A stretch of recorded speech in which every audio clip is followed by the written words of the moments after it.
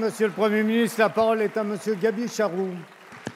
Merci Monsieur le Président. Ma question s'adresse à Monsieur le Premier ministre. Le 99e congrès des maires de France est ouvert ce matin sur un fond de colère de l'ensemble des élus locaux. Dans le même temps, un sondage Ipsos révèle que 3 Français sur 4 témoignent d'un attachement fort à leur commune. Cette importance que revêt la commune pour nos concitoyens n'a pas empêché l'État de réduire drastiquement ses moyens à travers la dotation globale de fonctionnement. Les baisses cumulées sur la période 2014-2017 devraient atteindre 28 milliards d'euros, dont 11 milliards pour le seul bloc communal. Ces réductions massives ont pour conséquence soit de contraindre les maires à augmenter la fiscalité pesant sur les ménages ou les entreprises, soit à augmenter le coût ou à baisser le niveau des services rendus aux habitants. L'investissement public local est lui aussi lourdement pénalisé. Il devrait reculer de 30% d'ici 2017 avec son lot de conséquences sur l'emploi.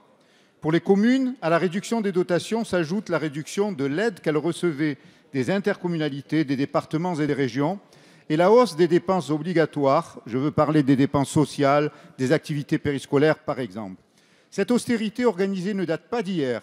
Elle avait été largement entamée par la droite, avec notamment, on s'en souvient, la suppression de la taxe professionnelle.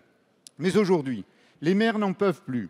Ils sont dans l'incapacité croissante de faire face aux besoins et aux attentes de leurs habitants comme aux charges nouvelles. Rappelons que la DGF n'est pourtant en rien une subvention commune. C'est de l'argent que l'État doit aux collectivités en raison des missions qui leur sont confiées. Aussi, allez-vous entendre, monsieur le Premier ministre, la demande unanime des associations d'élus qui réclament l'annulation, dès le projet de loi de finances 2017, de la baisse des dotations Je vous remercie. Merci. La parole est à Monsieur Jean-Michel Baillet ministre de l'aménagement du territoire, de la ruralité et des collectivités territoriales. Merci, Monsieur le Président. Monsieur le député Gabi Charroux, vous avez raison de souligner l'attachement des Français pour leur mère. Et les Français, en raison de les aimer, ils sont admirables de dévouement. Monsieur le député, je voudrais rappeler qu'il y a quatre ans, lorsque nous sommes arrivés aux responsabilités, le Premier ministre de l'époque déclarait que la France était en faillite et que 700 millions d'euros de dettes supplémentaires avaient été engagés sous le quinquennat de Nicolas Sarkozy. Il était donc indispensable qu'avec courage, la nouvelle majorité et le gouvernement prennent les choses en main pour redresser les comptes publics et que nous fassions les efforts nécessaires pour ce faire. C'est ce que nous avons décidé avec le pacte de stabilité de 50 milliards. Nous sommes cette année à la troisième année de ce pacte de stabilité.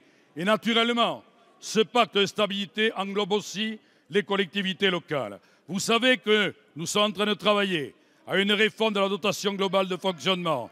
Mais je sais aussi que la dernière marche est toujours la plus difficile. En conséquence de quoi Nous rencontrons les élus. Le président de la République s'adressera à leur congrès jeudi après-midi.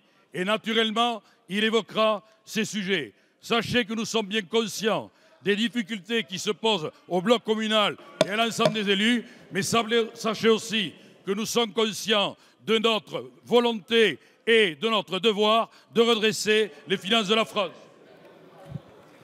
Merci, Monsieur le ministre. La séance des questions au gouvernement est terminée.